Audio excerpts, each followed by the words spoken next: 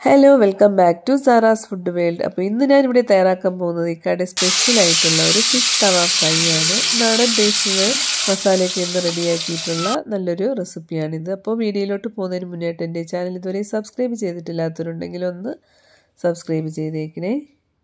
അപ്പോൾ അതിനായിട്ട് ഞാനിവിടെ ഇതുപോലൊരു മീനാണ് എടുത്തിട്ടുള്ളത്. മുഴുവനായിട്ടുള്ള ഈ ഒരു സൈസിലുള്ള മീനാണ് എടുത്തിരിക്കുന്നത്. അപ്പോൾ നിങ്ങൾക്ക് ഏത് മീനായിരുന്നാലും എടുക്കാം. ആവോലിയോ അതുപോലെ കിങ് ഫിഷോ അങ്ങനെ നല്ല സോഫ്റ്റ് ആയിട്ടുള്ള മീൻ വേണം. ഇതുപോലെ ഫിഷ് തവ ഫ്രൈക്കൊക്കെ എടുക്കാനായിട്ട്. അപ്പോൾ ഞാനിവിടെ ഇതിന്റെ സ്കിന്നൊക്കെ കളഞ്ഞിട്ട് നന്നായിട്ട് കട്ട് ചെയ്ത് ഇതുപോലെ വരഞ്ഞ് നല്ല രീതിയിലൊന്ന് ക്ലീൻ ചെയ്തെടുത്ത് വെച്ചിരിക്കുന്നതാണിത്. അപ്പോൾ ഇനി നമുക്കിതിലേക്ക് മസാല ഒന്ന് റെഡിയാക്കി എടുക്കണം. അപ്പോൾ അതിനായിട്ട് ഞാനിവിടെ മിക്സിയുടെ ചെറിയ ജാറിലോട്ട് ഒരു ചെറിയ കഷ്ണം ഇഞ്ചിയും വെളുത്തുള്ളിയും ഇതിലേക്ക് ചേർത്ത് കൊടുക്കുന്നുണ്ട്. അപ്പോൾ നല്ല പേസ്റ്റാക്കി മസാല ഒന്ന് റെഡിയാക്കാനാണ് ഇതുപോലെ മിക്സിയിലിട്ടിട്ടൊന്ന് അടിച്ചെടുക്കുന്നത്.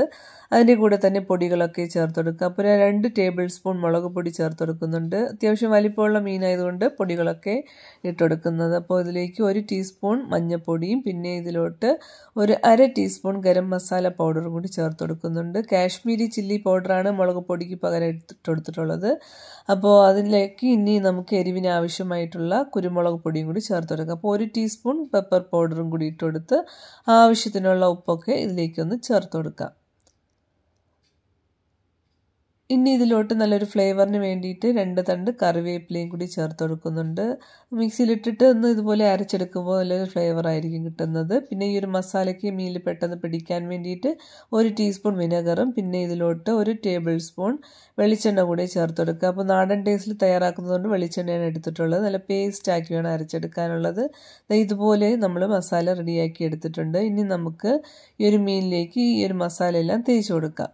അപ്പോൾ ഞാനിവിടെ മസാല ഇട്ട് കൊടുത്തപ്പോൾ മിക്സിയിലിട്ട് അരച്ചെടുക്കുമ്പോൾ നമുക്ക് നല്ല പേസ്റ്റാക്കി അരയ്ക്കാൻ പറ്റുന്നില്ല എന്നുണ്ടെങ്കിൽ കുറച്ച് വെള്ളവും കൂടി ഒഴിച്ച് വേണം നല്ല പേസ്റ്റാക്കി ഒന്ന് അരച്ചെടുക്കാനുള്ളത്. എന്നിട്ട് ഇതാ ഇതുപോലെ മസാലയ്ക്ക് നന്നായിട്ടൊന്ന് ഇട്ട് കൊടുക്കണം. നമ്മൾ മീനൊക്കെ ഒന്ന് വരഞ്ഞത് കൊണ്ട് തന്നെ ഉള്ളിലോട്ടൊക്കെ ഈ ഒരു മസാലയ്ക്ക് നന്നായിട്ട് ഇറങ്ങിക്കോളും. അപ്പോൾ ഈ ഒരു സൈഡിലൊക്കെ മുള്ളുള്ളത് കൊണ്ടാണ് ആദ്യം ഇതുപോലെ സെന്ററിലേക്ക് ഇതുപോലെ മസാലയ്ക്ക് ഒന്ന് തേച്ച് കൊടുക്കുന്നത്. അപ്പോൾ നന്നായിട്ട് ഇതുപോലെ മസാലയൊക്കെ ഒന്ന് തേച്ച് കൊടുക്കണം. അപ്പുറം ഇപ്പുറം ഇതുപോലെ മറിച്ചിട്ടിട്ട് മസാലയൊക്കെ തേച്ച് ഒരു അരമണിക്കൂറെങ്കിലും റെസ്റ്റ് ചെയ്യാൻ വെക്കണം.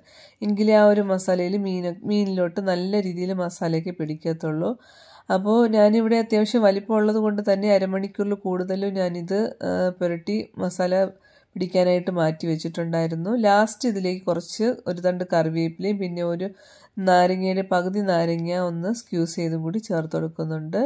എന്നിട്ട് നമുക്കിനി ഇതൊന്ന് ഫ്രൈ ചെയ്തെടുക്കാം. അപ്പോൾ ഇതൊരു ഫിഷ് തവ ഫ്രൈ ആയതുകൊണ്ട് തന്നെ തവയിലോട്ടാണിത് അധികം എണ്ണയൊന്നും യൂസ് ചെയ്യാതെയാണ് ഫ്രൈ ചെയ്തെടുക്കുന്നത്. അപ്പോൾ ഞാനിവിടെ ഒരു ഒന്നര ടേബിൾ സ്പൂൺ വെളിച്ചെണ്ണയാണ് ഒഴിച്ചു കൊടുക്കുന്നത്.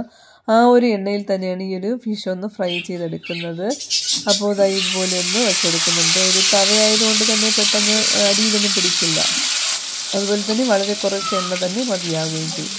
അപ്പോൾ ഒരു ഹൈ ഫ്ലെയിമിൽ ആദ്യം നമ്മൾ ഇട്ട് കൊടുക്കുന്ന ഒരു സമയത്ത് ഹൈ ഫ്ലെയിമിൽ ഇട്ട് കൊടുത്തിട്ട് ഒരു മുപ്പത് സെക്കൻഡ് കഴിഞ്ഞ ശേഷം ഫ്ലെയിം ഒന്ന് മീഡിയം ഫ്ലെയിമിലാക്കിയിട്ട് വേണം ഇതൊന്ന് ഫ്രൈ ചെയ്തെടുക്കാനുള്ളത്. അപ്പോൾ ഒരു സൈഡ് ഒന്ന് ഫ്രൈ ആയി വരുമ്പോൾ തന്നെ ഇതൊന്ന് മറിച്ചിടണം. അപ്പോൾ ഈ ഒരു കളറിലിരിക്കുമ്പോൾ കരിഞ്ഞിട്ടുണ്ടെന്നല്ല അത് മസാലയ്ക്ക് നന്നായിട്ട് ഉള്ളിലൊക്കെ പിടിച്ച് നല്ല രീതിയിൽ തന്നെ ഈ ഒരു ഫ്രൈ ആക്കി എടുത്തിട്ടുണ്ട് രണ്ട് സൈഡും. അങ്ങനെ ഇതാ ഇവിടെ സെർവ് ചെയ്യാനായിട്ട് വെച്ചിട്ടുണ്ട്. അപ്പോൾ നമ്മൾ ഇത് ചോറിന്റെ കൂടെയാണ് അന്ന് കഴിച്ചിരുന്നത്. നല്ലൊരു ടേസ്റ്റ് ആയിരുന്നു. ആ മസാലയൊക്കെ കറക്റ്റായിട്ട് പിടിച്ച് മീൻ മീൻ നന്നായിട്ട് വരഞ്ഞത് കൊണ്ട് തന്നെ ഈ ഒരു മസാലയ്ക്ക് ഉള്ളിലൊക്കെ നന്നായിട്ട് പിടിച്ചിട്ടുണ്ടായിരുന്നു.